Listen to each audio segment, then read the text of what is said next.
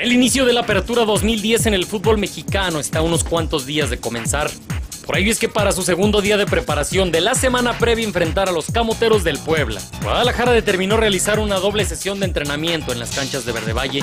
En la sesión matutina, trabajo físico en cancha y gimnasio, complementada con labores futbolísticas mediante enfrentamientos en espacios reducidos, en los que la intensidad fue la mejor característica del ejercicio matutino. Por la tarde, labores mayormente enfocadas al trato con la pelota, ya que mediante enfrentamientos de 9 contra 9 en tan solo 3 cuartos de terreno, el estratega José Luis Real practicó labores tácticas tanto en defensa como en medio campo. Para finalizar las actividades del día, un ejercicio de recepción y control de pelota para su posterior definición al arco, actividad que cerró el entrenamiento del segundo día de actividades previas a enfrentar a Puebla, o en lo que ya esperan con ansia en el rebaño.